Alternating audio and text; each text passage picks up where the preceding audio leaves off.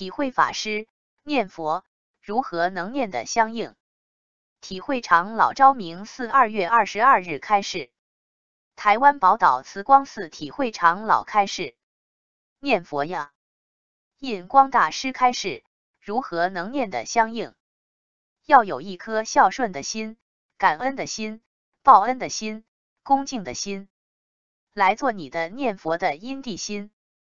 记住，常常有一句话：存好心，说好话，做好事，这是修行的原则。众生呀，众生呀，为什么一直做众生？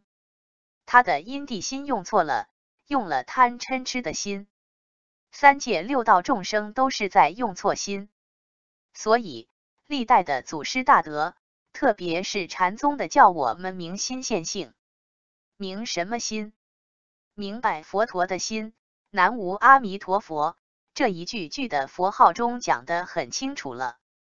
念佛就是佛在念呀，什么在念？佛的心在念呀。你有莫有心？没有心，谁在念佛？谁在绕佛？你说是我的嘴巴在念佛，我的身体在绕佛，那死人怎么不念呢？死人怎么不起来绕佛呢？这个身体只不过是一个臭皮囊，真正能听、能看、能闻、能嗅、能走、能思考的是你的心呀。有的人却不知道呀，以为心脏就是我们的心，那只是身体上的一个器官呀。佛与众生差别在那里？就是差别在一念心之别。释迦牟尼佛是现在世间也是一样的呀，一开始也是一个烦烦恼恼的众生呀，但是后来佛陀在菩提树下觉悟了，觉悟什么了？奇哉奇哉，一切众生皆具如来德相，只可惜呀，众生因为迷惑而不能证悟呀。能迷惑什么呢？就迷惑在不知心在何处呀。不知道原来我们都有一颗清净的心，而天天在贪嗔痴上打转。所以只要你一念心觉悟了，大家都是佛。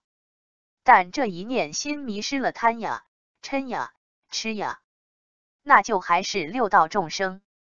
佛因为不贪嗔痴了，并且清净平等正觉慈悲了，所以成佛。念佛也是一样，念佛就是要你念佛的心。念佛的清净、平等、正觉、慈悲、孝顺的心，但是心有真心，妄心而已。佛用真心，所以佛陀成佛了。我们因为用妄心，所以还是六道轮回。什么是真心？就是要有一颗真诚的心、孝顺的心。无量寿经讲五毒贪、嗔、痴、慢、疑。众生一直在用五毒，所以念不能与佛相应，一定要用真心来念。我看一本书很厚，讲的都是古今中外这些圣贤为什么能成就。原来很简单呀，就是存一颗好心，存一颗良心，存一颗大爱的心。古人圣贤为什么会成就？因为他用对了心。那修行人也是一样，发心要对。华严经讲的很清楚，出发菩提心即成正觉，这个力量太大了。只要发菩提心就能成佛。那我们大家应该要多发菩提心。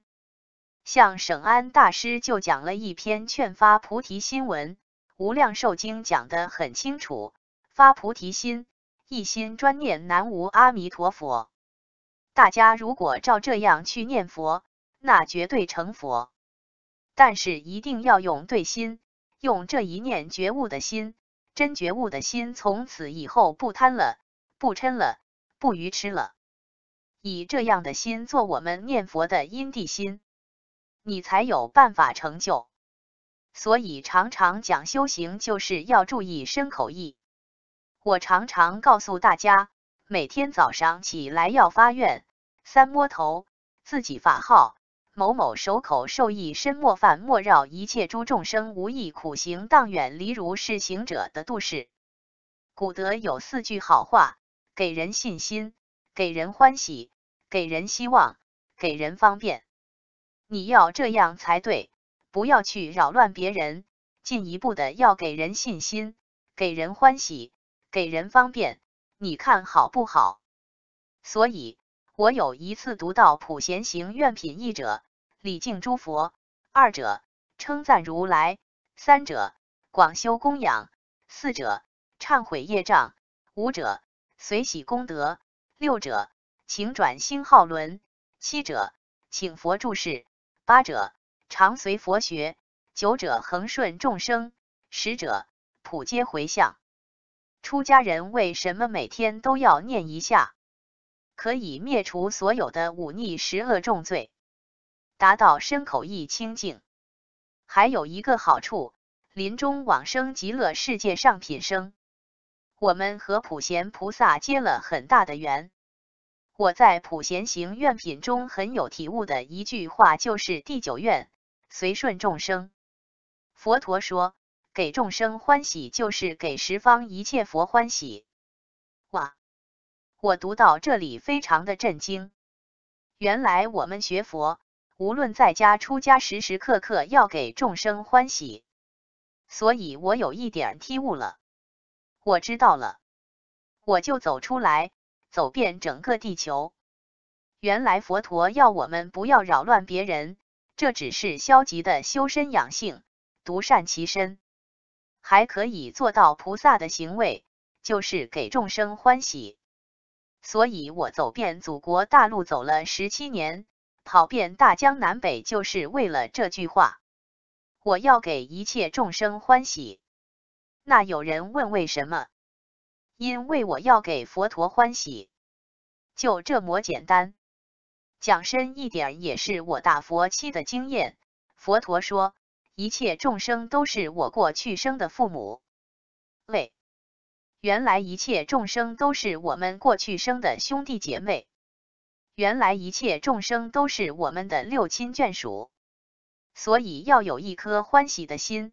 孝顺的心来对待父母亲，要用欢喜的心来对待兄弟姐妹，感恩的心对待六亲眷属。做人呀，饮水思源。我们能够得到人身，能够有今天的发展，对一切众生都要存有感恩的心，把这个心扩张到社会上，对上尊敬，对下慈悲关怀，对同事和和气气。记住，你给众生欢喜，就是给佛欢喜。所以，印光大师讲，你要有一颗欢喜的心来念佛，利用你的嘴巴念出来，有耳朵听回来，听到心上去。什么心？真诚、平等、正觉、慈悲的心。再通过嘴巴念出来，再通过耳朵听回来，这一句句佛号很真诚的念出来，这才叫念佛。印光大师讲，你这样念佛绝对会成功。阿弥陀佛。